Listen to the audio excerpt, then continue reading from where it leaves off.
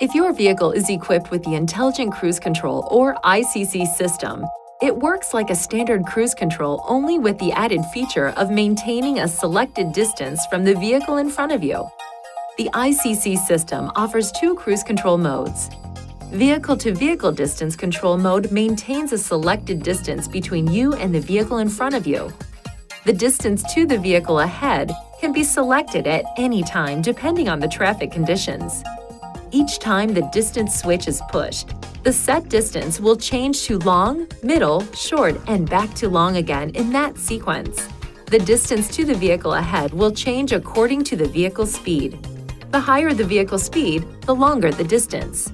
If the vehicle in front is traveling slower than your set speed, the ICC will automatically match that vehicle's speed. Once the road ahead clears, the ICC will resume your set speed automatically. Each time the engine is started, the initial setting becomes long. When the road ahead is clear, the driver can set the speed range between approximately 20 to 90 miles per hour. Or you may choose the conventional or fixed speed cruise control mode by pushing and holding the steering wheel cruise on-off switch for longer than approximately 1.5 seconds.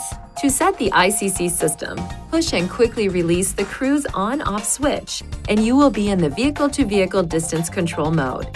To switch between the two cruise control modes, you must first turn the system off and then turn it on again in order to select the other cruise control mode. You can confirm the setting of the Intelligent Cruise Control system in the vehicle information display.